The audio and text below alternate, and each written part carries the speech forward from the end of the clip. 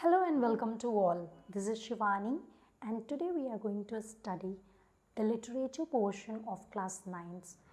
We will start NCRT book Beehive and today we will study the very first chapter of this book.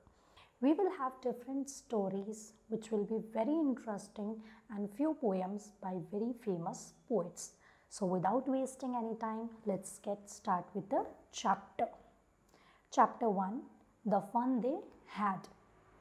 Before you read, the story we shall read is set in the future when books and schools, as we now know, them will perhaps not exist.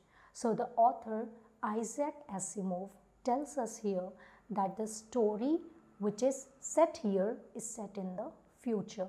ये जो हमारी story दिखाई गई है इस book में ये story कब की है फ्यूचर में and may be the concept of books and schools and school buildings will not be there in the future.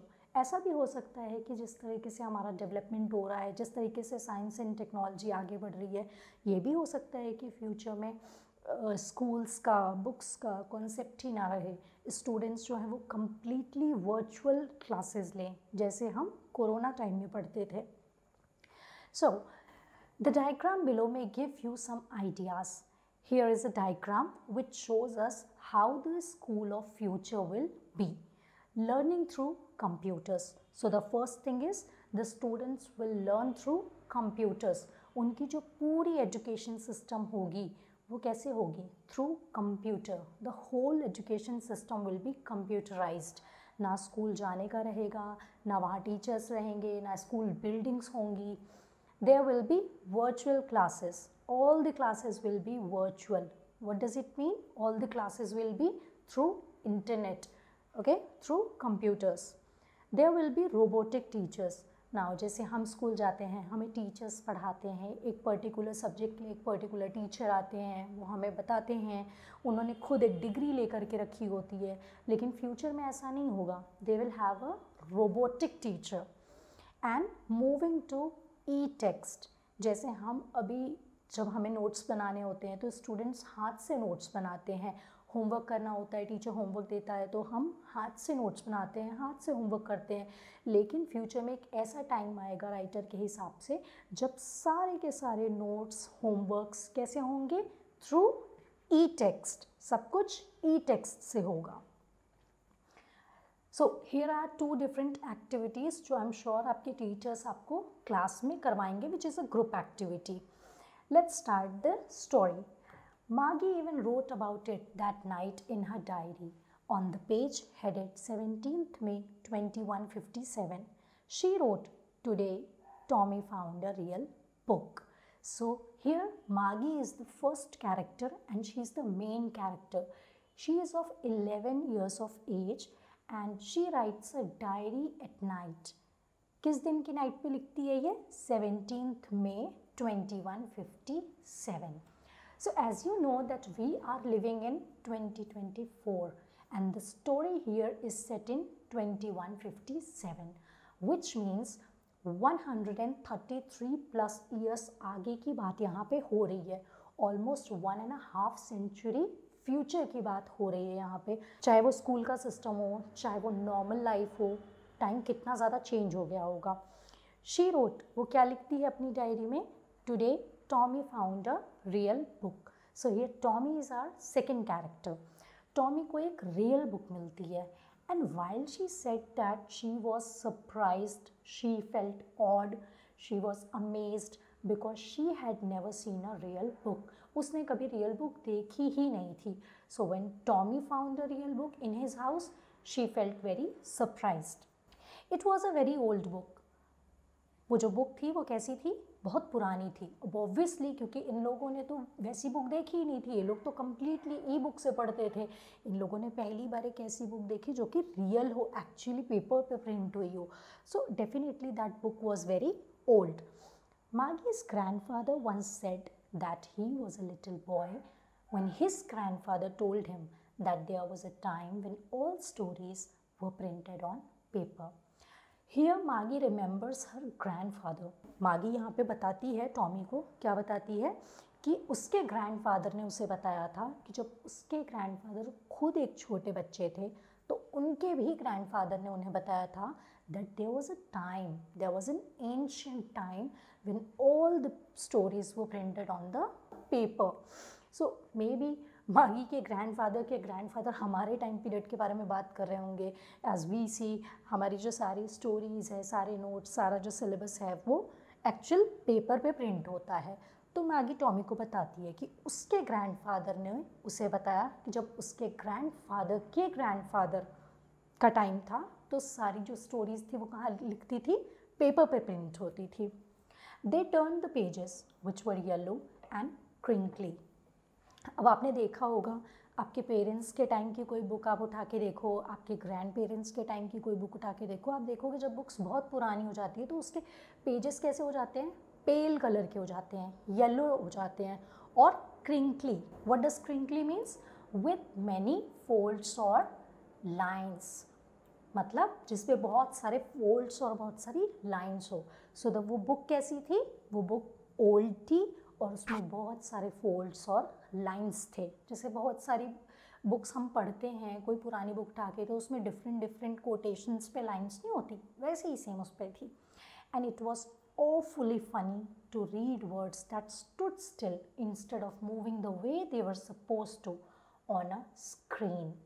Now, it was a very funny thing for them. ये चीज़ Tommy और Maggie के लिए बहुत ही funny थी। क्या चीज़ funny थी?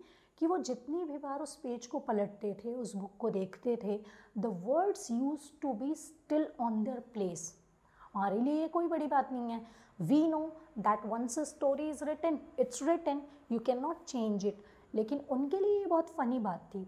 क्योंकि वो स्क्रीन पे पढ़ते थे। और वो स्क्रीन पे पढ़ते थे तो in the same screen they used to see a lot of stories लेकिन बुक्स में the words were not moving उन्हें आदत ही नहीं थी इतनी बोरिंग चीज़ें पढ़ने की, इतनी बोरिंग चीज़ें देखने की।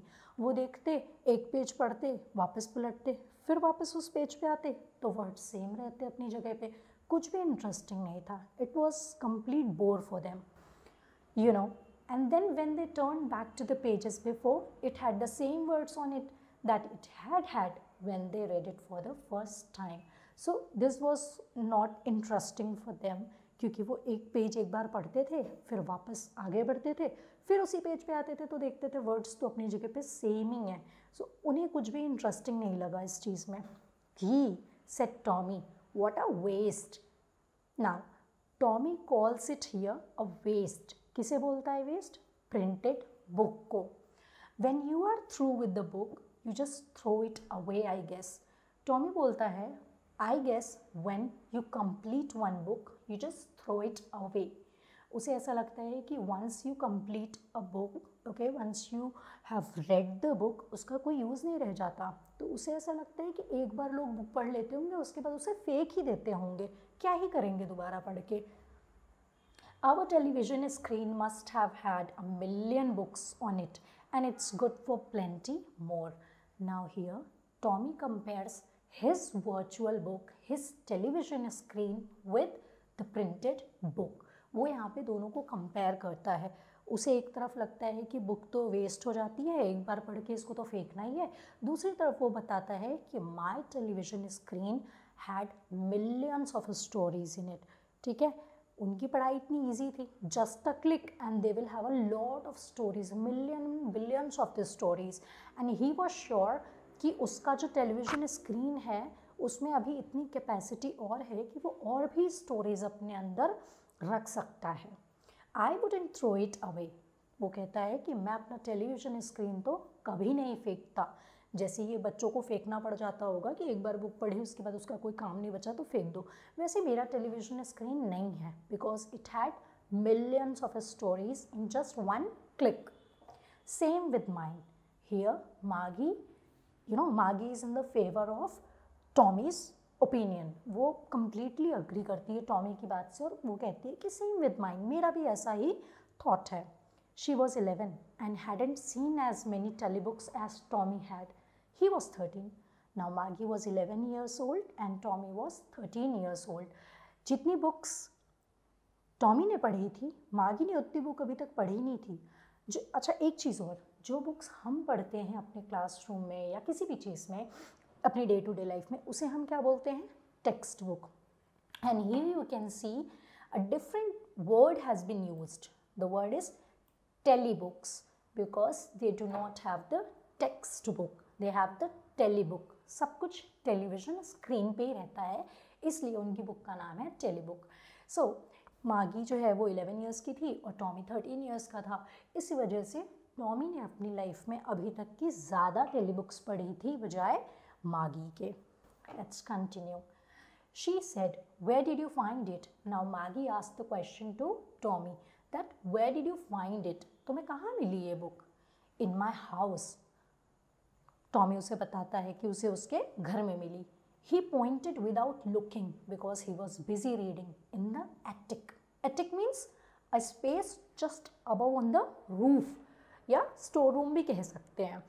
तो टॉमी जो था he was so busy in reading the book that he did not you know look away he just kept reading the book and he reply to Maggie that yes I found it you know on the roof of my house in the attic.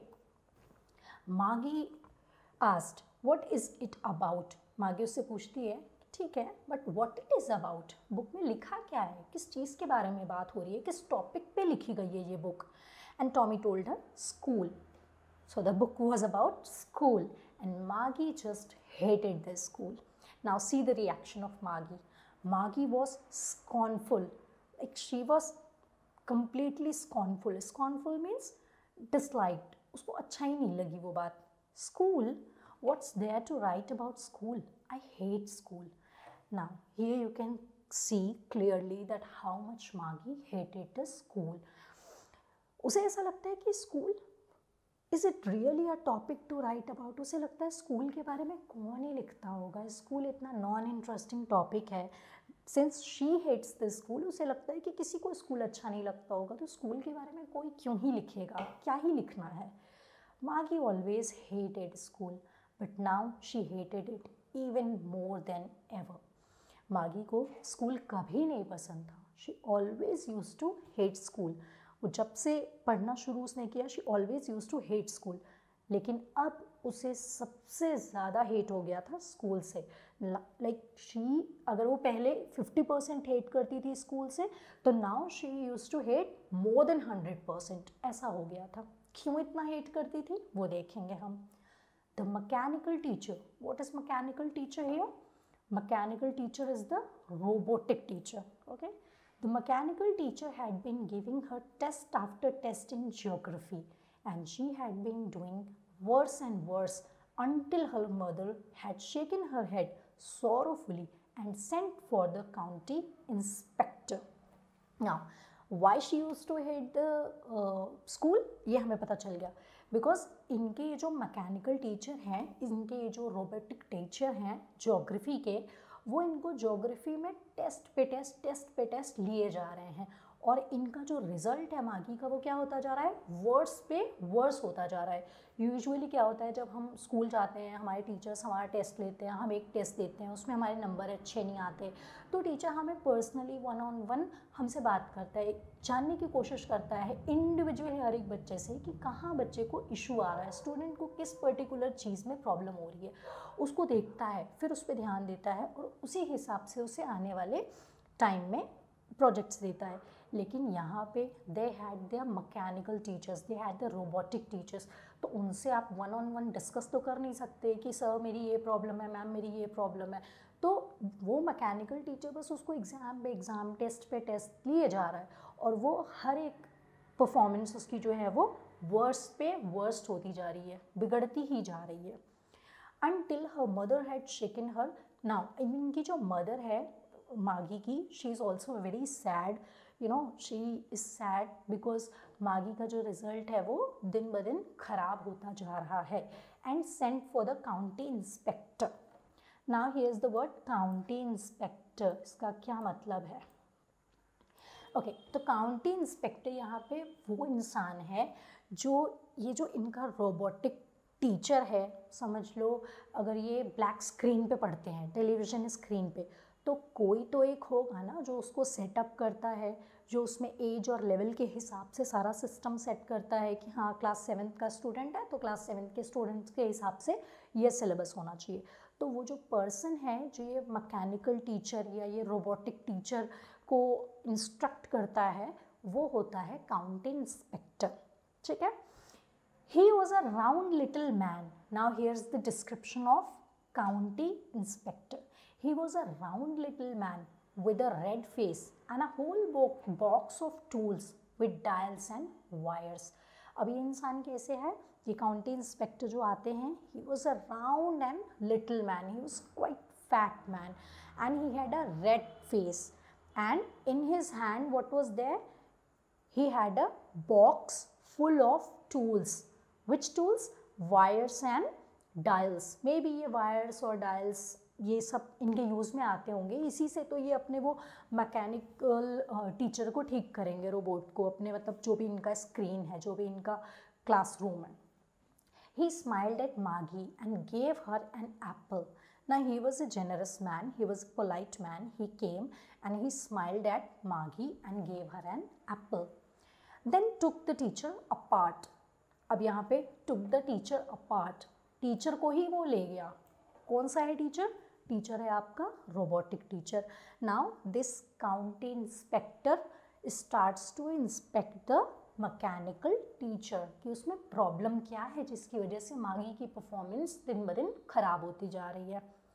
Maggie had hoped he wouldn't know how to put it together again Maggie इतना hate करती है school को कि वो बस मन में सोच रही होती है शी वॉज़ जस्ट होपिंग कि कुछ ऐसा हो जाए कि ये जो हमारा है, ये बन ही ना पाए। ये काउंटी इंस्पेक्टर दोबारा से इसको असेंबल ही ना कर पाए। ये टीचर ऐसे ही रह जाए मेरा।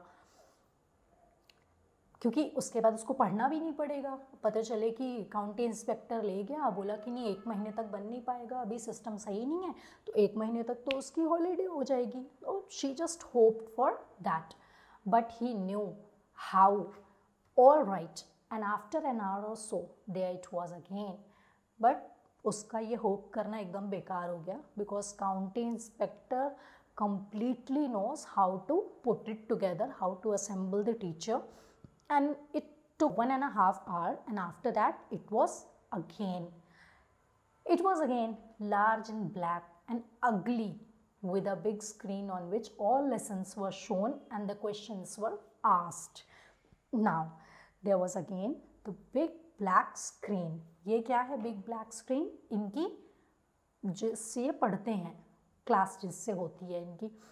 एंड कैसी थी वो screen that was a big large and ugly looking screen and on that screen all the lessons were shown and all the question were asked Maggie use to hate this part of this school most कि उसमें questions पूछे जाते थे questions पे questions test पे test लिए जाते थे। That wasn't so bad ये उतना भी बुरा नहीं था। The part Maggie hated most was the slot where they had to put homework and test papers Maggie को लगा, ये सब भी चलो ठीक है कि क्वेश्चंस पूछे जा रहे हैं टेस्ट लिए जा रहे हैं, ये सब भी ठीक है। उसको इस सबसे भी उतनी प्रॉब्लम नहीं थी। लेकिन सबसे ज़्यादा हेट उसे किस चीज़ से थी? The most she hated was the slot where they had to put their homework अब या तो इनके जो इनका मैकेनिकल स्क्रीन है, जो मैकेनिकल टीचर है या जो भी सिस्टम है, उसमें कोई एक पर्टिकुलर स्लॉट होगा जहाँ पे इनको अपने होमवर्क्स पुट करने होते होंगे या एक पर्टिकुलर टाइम पीरियड होता होगा जिसके अंदर में इनको अपने होमवर्क्स करके देने होते होंगे।